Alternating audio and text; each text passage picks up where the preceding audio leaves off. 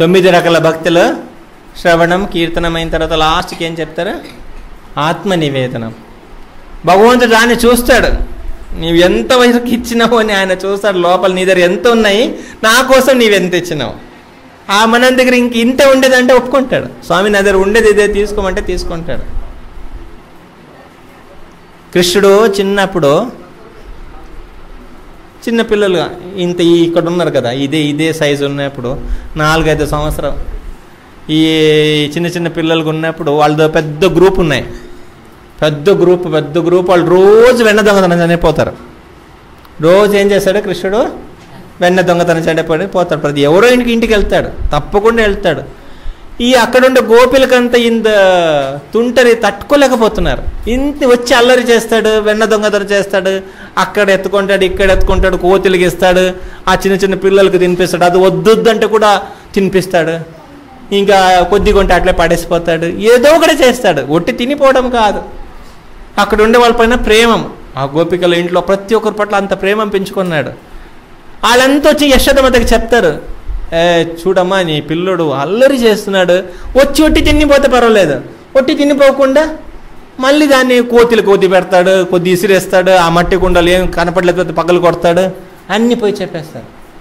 యశోదమ్మకు బాధ మన ఇంట్లో ఇన్ని ఇన్ని వెన్న కుండలు ఉన్నాయి ఇన్ని ఉన్నప్పుడు పోయి ఎందుకు అక్కడ తింటాడని చెప్పేసి. అప్పటికి ఇంక యశోదమ్మ అనింది సరే మీరు ఆయనకేమో మన ఇంటిది వెన్న నచ్చట్లేదేమో మీ ఇంటి కడది వెన్న నచ్చుతుందేమో మీరు ఒక పని చేయండి. మీరు మీరు ఎంత ఇస్తారా? అంత ఇచ్చేయండి. మళ్ళీ నా దగ్గర వచ్చి ఆయన ఎంత తిన్నాడని చెప్పండి నేను మా దగ్గర ఇచ్చి ఉండేది ఇస్తానని చెప్పేసి. అది కూడా ట్రై చేసినారు. అది అది ఒప్పుకోవట్లే కృష్ణుడు. ఈ దొంగతనం చేసే తినాలా అని చెప్పేసి. ఈ మామూలుగా వాళ్ళు ఇస్తే వద్దంట అది వద్దు. ఒకరోజు అందరు పాప ఈయన ఇంక దొంగ దొంగతనం చేసి పగలు కొట్టేసి అంత తినేదొద్దని చెప్పేసి పోయే దారిలో ఏం చేసినారు? అన్ని గోపికలు ఒక మట్టి కుండతోటి వెన్న పెట్టుకొని కూర్చోన్నారు అందరూ. చిన్నపిల్లుడు ఇంతే ఉన్నాడు ఒక్కసారి చూసినాడు. ఆ అందరు మట్టి కుండలు పట్టుకొని ఇట్లా దా కృష్ణ తీసుకో తీసుకొని పెట్టుకున్నారు. ఒకసారి ఇట్లా చూసినారు. ఏమి నేనేమి అడుగు తిన్నవాడా? నేను బిచ్చగాడు అనుకున్నావా? అందరు లైన్లు ఇట్లా పట్టుకొని తిరిగి కూర్చోడానికి. పోండి పోండి అని తిట్టేసి పంపించినాడు. కానీ ఆయనకు దొంగతనం చేసి తినాలనే కోరిక. మీ దొంగతనం చేసి దాన్ని అనుభవించాలని నేను అని చెప్పేసి అన్ని ఇంట్లో దొంగతనం చేస్తే ఈ గోపిలంతా ఒకరొకరు మాట్లాడుకున్నారు. కృష్ణుని ఏమన్నా చేసి ఒక్క రోజు కన్నా మనం ఆపాల? నేను ఎవరిలో కుదరలే. కృష్ణుని వెన్న వెన్న దొంగతనం చేయడానికి రాకుండా ఎట్లా ఆపడం అనేది ఒక్కరిలో కుదరలేదు. ఎట్లా ఆపేయాలని చెప్పి కోరిక? ఓ దాంట్లో ఒక్క గోపి బాగా తెలివైన గోపి. ఆ గోపి చెప్పింది నేను ఆపేస్తాను ఈరోజు కృష్ణుడు మన ఇంటికి ఒక్కరోజు ఈరోజు అక్కడ రాకుండా చూసుకుంటాను నేను. ఆమె ఏం చేసింది? పండగలాగా ఇంటి ముందు మంచి తోరణాలు అంతా కట్టేసింది. అరటి చెట్టు కట్టేసింది మంచి తోరణాలు కట్టేసింది మంచి మామిడికాయ ఆకులు ఇంకా టెంకాయ చెట్టు ఆకుదంతా తోరణాలు చేస్తారు కదా. అన్నీ అన్నీ మంచిగా కట్టేసి పెట్టుకునింది. కృష్ణుడు వాళ్ళ పిల్లలంతా పోతా ఉన్నారు. పోతే రెగ్యులర్ వచ్చే ఇల్లు రెగ్యులర్ వచ్చే ఇల్లు అయితే ఈమె ఈ గోపిక ఇంటి ముందే కూర్చొని నిలబడి ఉంది. కృష్ణుడు మామూలు అన్ని ఆ ఇంటిది అయిపోయింది ఈ కోట మళ్ళీ ఈ ఇంటికి వచ్చేసినాడు. ఈ ఇంటికి వచ్చేసి ఆమె ఇంకా కృష్ణుని గోపిక పట్టుకునింది. చిన్న బుద్ధు ఈరోజు వద్దామా ఈరోజు మన ఇంట్లో పండగ ఉంది. పూజారులంతా వస్తున్నారు. మన ఇంట్లో ఓమలు యజ్ఞాలు అంత ఉన్నాయి. మళ్ళీ మీరు వెన్నెలంతా తినేసి పిల్లకాయలు మొత్తము ఇల్లంతా గబ్బు గబ్బు చేసి పడేస్తారు. వద్దు మీరు అక్కడక్కడ మట్టి కుండలు పగలు కొట్టేస్తారు ఈ పాలు తాగి అక్కడ సగం పాలు ఇక్కడ సగం పాలు పడిపోవడము. మళ్ళీ పూజలకు అంత లేట్ అవుతుంది. ఈరోజు ఒక్కరోజు ఈరోజు ఒక్కరోజు మన ఇంటికి వచ్చేదొద్దు. ఈరోజు వెళ్ళండి. కృష్ణుడు కదా అంత ఈజీగా వదలడు. ఇవి వీళ్ళకి ఎంత తెలివితేటలుంది వాళ్ళకి ఆయనకి ఇంకా ఎక్కువ తెలివితేటలుంది. లేలే ఈరోజు ఏం మీ ఇంట్లో ఏమి అని అడిగినాడు. లేలే మా ఇంట్లో ఈరోజు పూజలు అంత ఉన్నాయి హోమాలు అంత ఉన్నాయి. సో ఈరోజు ఒకటే పూజలంతా అయిన తర్వాత రేపు వచ్చేయండి. ఏదో మిగిలింది ప్రసాద కూడా మీకు ఇస్తానని చెప్పింది. ఆ గోపిక అట్లా చెప్పింది. కానీ కృష్ణుడికి ఏదో ఈమె ఏదో చేస్తుంది ఈరోజు నేను లోపల రాకుండా ఏదో చేయడానికి ప్లాన్ చేస్తుంది అని కృష్ణుడికి డౌట్ వచ్చింది. ఇంకా డీటెయిల్గా అడుగుతున్నాడు. ఇంకా వివరంగా అవును ఎవరు పూజారులు ఎవరు అని చెప్పాను బట్ ఏ పంతులు గారు ఎక్కడి నుంచి వస్తున్నారు? ఎవరు ఏ పంతులు గారు వస్తున్నారని. ఇంకా ఆమె చెప్పింది పలానా ఒక పంతులు గారి పేరు చెప్పింది. ఆ పంతులు గారు వస్తున్నారు మన ఇంట్లో పూజలు అంత ఉంటాయని. సరే ఈయన ఏం చేసినాడు? ఆ పంతులు గారి ఇంటికి పోయినాడు. అవును పంతులు గారు మీకు ఈరోజు వాళ్ళ ఇంట్లో పూజ ఉందంటే మీరేనా అక్కడ పూజ చేసేదని? పంతులు గారు పాప ఆయన బుక్కులంతా చూసి ఈరోజు కాదప్ప అది అది ఇంక రెండు నెలల తర్వాత శ్రావణంలో ఇప్పుడేం లేదే అని. ఓ అట్లానా అని చెప్పేసి అక్కడి నుంచి ఇక్కడికి వచ్చినాడు. ఇక్కడ వచ్చి ఈ గోపి దగ్గర చెప్పినాడు అయ్యో ఆ పంతులు గారికి రాకూడదంటే వాళ్ళది ఏదో శౌచం శౌచం అంటే తెలుసు కదా మైలిగా.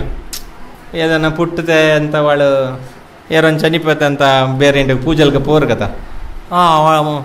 పంతులు గారు ఇక్కడ రాకూడదంటే పూజలకు రాకూడదంటే మీవేం బాధపడదు. నేను మా పంతులు గారు కొంచెం మంది ఉన్నాము. మేము వస్తాం పూజలకు.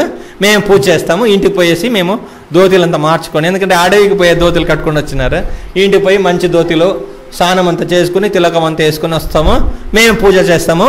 ఇవేం బాధపడదు అన్ని రెడీగా నేను అయ్యో వీడి దగ్గర ఒక ఒకడ తప్పించుకోవడానికి పోతే ఇంకో దాన్ని ఇరిగిపోయినామని ఈమె బాధపడుతోంది.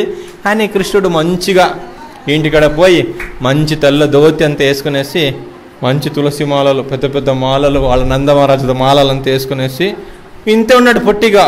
మొత్తం మాలలు అంత వేసుకునేసి ఆ పిల్లలు ఎంత ఉన్నారు దాంట్లో మధుమంగలు అంత ఉంటారు. ఒక పంతులు కొడుకు కూడా ఉన్నాడు దాంట్లో. ఆడు వాడు చెప్పినాడు ఏ మనం మామూలుగా పోతే నమ్మర్రా మనని. మంత్రులంతా చెప్పుకొనేసి పోతే ఓ మనకు పూజలు వచ్చి అనుకుంటారు. నీ దారిలో వచ్చేప్పుడు నీవు మంత్రులంతా చదువుకొని రావాలని చెప్పి. వీళ్ళు చూస్తే దగ్గర దగ్గర రెండు వేల మంది ఉన్నారు. చిన్న చిన్న పిల్లకాయలు. మొత్తం వీళ్ళది గ్రూపే ఉంది కృష్ణుడితోటి. మొత్తం ఈయన మంత్రాలు చెప్పుకొని పెద్ద పెద్ద మాలలు అంతా వేసుకునేసి అందరం చూపించుకొని మాలలు బయటకు ఒక లోపల చెదరు వేసుకుని చెదరు పైన మాలలు వేసుకొని వస్తూ ఉన్నాడు. మాలలు అంత ఇంట్లో వేసుకునేసి పెద్ద షో చేసుకుని వస్తున్నాడు. ఏదో పాప అక్కడ ముస్లాం వాళ్ళంతా వచ్చి ఎవరు ఎవరు పంతులు ఎవరు పంతులు ఎవరు అని. ఆయన పర్సన్ కనపడట్లే. ఈయన చిన్నగా ఉన్నాడు కదా. వాళ్ళు బయటకు ఉన్నారు. పెద్ద గ్రూపు. ఈ పూజలకు పోయే వాళ్ళని చూడడానికి పెద్ద గ్రూప్ ఉంది రోడ్ల మధ్యలో. వాళ్ళ ఇంట్లో ఏదో పెద్ద పూజ అంటే వీళ్ళు ఏదో పెద్ద గ్రూపు మంత్రాలు చదువుతూ వస్తున్నారు. ఏదో మంత్రాలు చదువుతూ వస్తూ ఉంటే వాళ్ళకు అనిపించింది ఏదో ఏదో పెద్ద పూజారు ఏదో వస్తున్నాడు. ఏదో ఊర్దు పెద్ద భట్రుగా భట్ భట్రు స్వామి వస్తున్నారు అని చెప్పేసి అందరూ చూస్తున్నారు. ఎవరు కనపడట్లే? ఈ గ్రూపుల మధ్యలో. ఎవరు ఎవరు పూజారు ఎవరు? మెయిన్ పూజారి ఎవరు అని చూస్తున్నారు. ఇంకా అక్కడ పక్కనుండి గోపికలు అన్నారు ఎవరులే? మన నందమహారాజు కొడుకు ఇంకెవరు అని ఎవరు? ఆయన చిన్నపిల్లడు ఆయన అంటే మెయిన్ పూజారి. ఇంకా ఆయన తోడు ఒక ఇద్దరు ముగ్గురు ఉన్నారని చెప్పేసి. మంత్రులు మా ఈ- వాడు గట్టిగా మంత్రాలు చదువుతున్నాడు చెప్పిందే చెప్పుకున్నట్లు వస్తా ఉన్నాడు. వస్తూ ఉండేసి ఈ ఈమెకి ఈ గోపికకు తప్పించి ఈయన తప్పించుకోవడానికి ఏదో ఆమె చెప్పింది మా ఇంట్లో పూజ అని. ఈమెకి ఏం చెప్పాలి అర్థం కాదు. డైరెక్ట్ కృష్ణుడు వాళ్ళ ఇంటికి వెళ్ళిపోయినాడు. ఇంకా ఆయనతోటి మిగిలిన పిల్లలు కూడా గోప బాలకులు అంతా వెళ్ళిపోయినారు లోపలికి వెళ్ళిపోయినారు. లోపలికి వెళ్ళిపోయి ఆ ఎక్కడ? దేవుడు రూమ్ ఎక్కడ? అని అడిగినాడు. పాప ఆమె చూపించింది ఇదే మా దేవుడు రూమ్ అని కూర్చొనేసినాడు. కూర్చొనేసి ఆ పాలు తీసుకొని రా అని నైవేద్యానికి. ఒకవేళ పూజలకు భక్తులంతా రెడీ చేసేయి అని రెడీ చేసేని ఫస్ట్ స్టార్ట్ చేసినాడు పాలు తీసుకొని రా అని. పాప ఆమె అమ్మే మథురకు పోయి అమ్మే పాలంతా రెడీ పెట్టుకునింది. ఈయన ఒకసారి వెళ్ళిపోతే మళ్ళీ అమ్మడానికి పోవాలని ఆమె అనుకునింది. ఇంత బింది పాలు. పాలు అక్కడ శాలిగ్రామం ఉండింది. శాలిగ్రామం ముందు కూర్చున్నాడు. కొద్దిగా తులసి ఆకు తీసుకున్నాడు.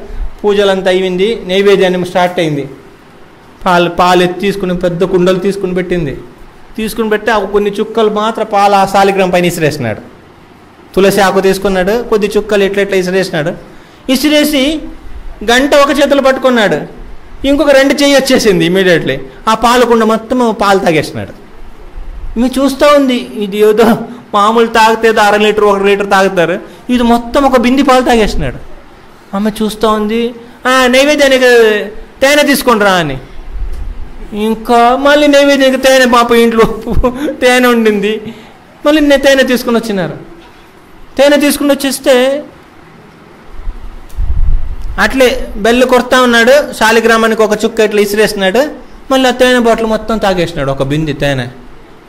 ఆ నైవేద్యానికి వెన్న తీసుకుని రా అన్నారు. పాప దొంగతనం చేసి ఇంతే దొంగతనం చేస్తారు. ఆ వెన్న కుండ మా పట్టుకుంటూ వచ్చింది పాప. దానికి ఒక రెండు ముక్క తులసి వేసినాడు. దేవుడికి ఒకసారి శాలిగ్రామం చూపించినాడు. చేతులు వేసుకొని కొద్దిగా తిన్నాడు. ఆ పిల్లకాయలకు మొత్తం ఇచ్చేసినాడు. ఒక బింది ఇది అయిపోయింది. మళ్ళీ కొబ్బరి నీళ్ళు అది కూడా అట్లే తాగేసినాడు. మొత్తం పంచామృతం మొత్తం ఖాళీ చేసినాడు. ఖాళీ చేసేసి గోపిక చూస్తోంది. మొత్తం కళ్ళు ముందే సరే నీళ్ళు తీసుకోండి రా అని. నీళ్ళు తీసుకుని వచ్చేసి శాలిగ్రామ్ పైన మా ఫుల్గా పోసినాడు ఇది ఎవరు కోరు బాబు? ఇది ఏం తాగట్లేదంటే? ఇది తీరుతాం మీకు అందరికన్నాడు. ఇది పాలు వెన్న పెరుగు అది మొత్తం ఆయన తీసుకున్నాడు. ఇంకా వీళ్ళకి తాగడానికి మాకు నైవేద్యం ఎక్కడంటే ప్రసాదం ఎక్కడంటే మీకు ప్రసాదం రెడీగా ఉంది. ఆ తీర్థం నీళ్ళు పోసుకునేసి శాలిగ్రామ్ పైన బాగా ఒక గబ గబ పోసుకోండి ఆ కింద బకెట్ పెట్టుకోండి అని బకెట్ పట్టుకున్నారు వాళ్ళు. ఇది తీర్థం మీకు మీరందరూ పంచుకోండి అని. ఇంకా భార్య భార్య భర్తలు గోపిక వాళ్ళిద్దరు లోపల పోయేసి మాట్లాడుకుంటారు. ఏం చేసేది? ఇప్పుడు ఇంకా పూజ స్టార్టింగ్ మాత్ర. ఇంకా ఇంకా ఇప్పుడు స్టార్టింగ్ ఇంకా నైవేద్యం అంత కాలేదు. ఇది మధుపరక అంటారు. ఒక ఫస్ట్కి ఒక పాలు వెన్న పెరుగు నెయ్యి ఇదంతా చూపించాలి దేవుడికి స్నానం అయినప్పుడు మళ్ళీ నైవేద్యం సపరేట్గా ఉంది. ఈ పిలకలు చూస్తే ఒక్కొక్కరు దగ్గర దగ్గర ఒక ఇరవై చపాతి తినేలాగా ఉన్నారు. బాగా ఒక్కడ కూడా బక్క చిక్కిపోయిన పిలకలు ఎవరు లేదు. దొంగతనం చేసి తినేది ఇంట్లో తినేది అడవిలో తినేది తిని తిని ఇట్టున్నారు ఈ గోపిక చూసింది ఇంతమందికి నైవేద్యం అడిగితే ఎక్కడ పోయేది? ఇది ఇంకా భోజనం స్టార్ట్ కాలేదు. ఇంతమందికి భోజనం అంటే ఒక్కొక్కరు దగ్గర దగ్గర ఒక కిలో ఇద్దరు తినేలాగా ఉన్నారు. అంత పుష్టిగా ఉన్నారు. సో ఆమెకు భయం వచ్చేసింది. భర్తకు భర్తకు భయం వచ్చేసింది. ఏం చేసేది? మనము కృష్ణుడి దగ్గరే మన తెలివితేటలు వాడేదొద్దు. కృష్ణుడికి చెప్తాము యాక్చువల్లీ మన ఇంట్లో పూజలు ఏం లేవు నాయన. నిన్ను ఎట్టో ఒకటి ఇంటికి రాకుండా తప్పించుకోవాలని మొన్న ఒట్టి డ్రామాలు చేసినాము. కానీ దొరికిపోయినాము. మర్యాదకి పోయి చెప్పేస్తామని. ఆయన చెప్పడానికి కూడా సిగ్గుకుంది మేకు ఈయన ఆల్రెడీ సగం పూజ పేర్లు అన్నీ ఉండి దాన్ని తినేస్తున్నాడు తినేసి అమ్మా ఇంకా పూజ ఇంకా గంట సేపులు అయిపోతాయి. రెండు వేల మందిలో మేము ఉన్నాము నైవేద్యం అంతా రెడీగా పెట్టుకోండి. వంట ఎక్కడ? వంట పూజ వంట చేసేవాళ్ళు ఏం కనపడట్లే. వంట ఎక్కడ జరుగుతుంది అంత అడుగుతున్నాడు. వీళ్ళకి భయం వస్తూ ఉంది. ఎట్లా కృష్ణుడికి ఎట్లా ఇది చెప్పేది ఎట్లా అని చెప్పేసి కృష్ణుని పిలిపించినారు. కృష్ణుని పిలిపించేసి లోపల తీసుకుని పోయినారు.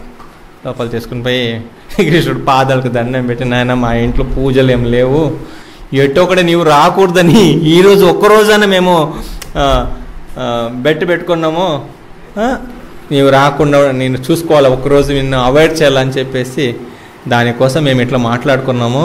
కానీ మేము ఓడిపోయినాం నాయన. మా ఇంట్లో పూజలు గరిగిరి మీకు వచ్చిన వచ్చిన వాళ్ళకంతా వచ్చిన వాళ్ళకి అన్నదానము ఇదంతా ఏం లేదు.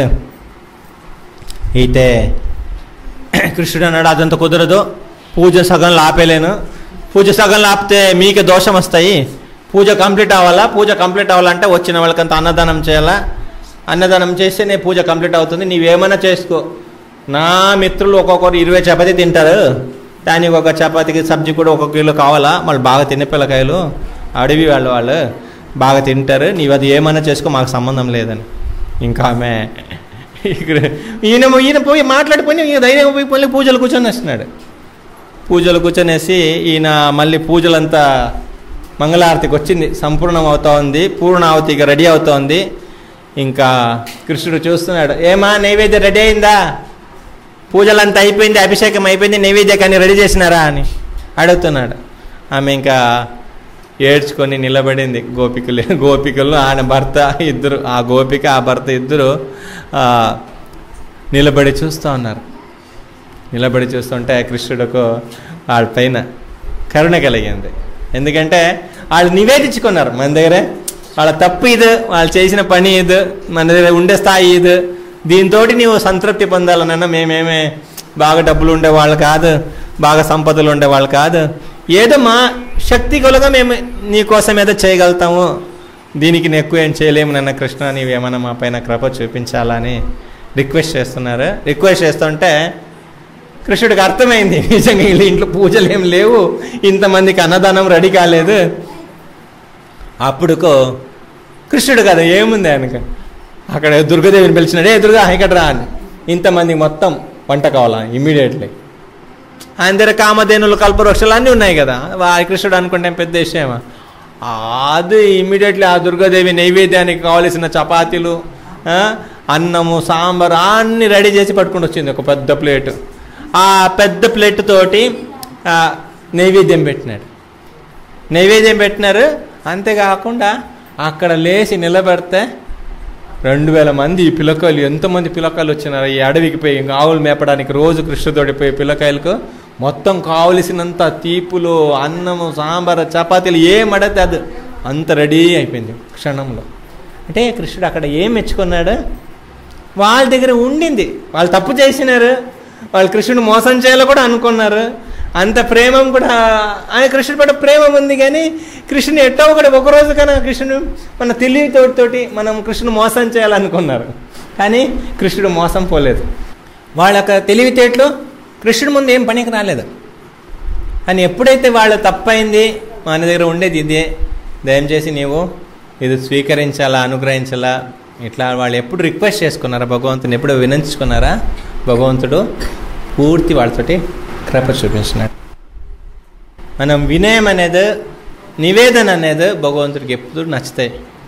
మనం ఎప్పుడు మనం గర్వంగా ఉంటామా? మనం ఏం లేనప్పుడు కూడా మనము అహంకారం ఎప్పుడు ఉంటామా? అప్పుడు భగవంతుడు కదా నచ్చదు